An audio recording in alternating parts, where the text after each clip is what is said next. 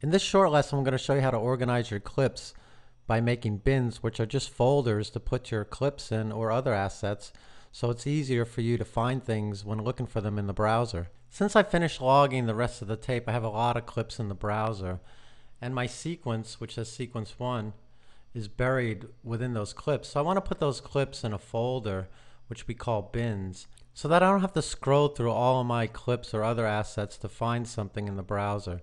So I'm going to go to File in the top menu, New, and then Bin. A folder appears in my browser window, and I'm going to name this bin Media. Then I'm going to highlight all of my clips and drag them into this Media bin. So I highlight a bunch of clips by making a lasso around them. Then I grab one of the icons, hold it on the Media bin. When it lights up, I let it go. All those clips go into that bin. Once I'm done, there will only be the media folder in my browser and the sequence. My sequence is the timeline that I currently have active. Notice that the name of the sequence 1 in your browser is the same as the tab in your timeline. I'm going to go ahead and change this to Master Cut 1 so that my sequence has a unique name.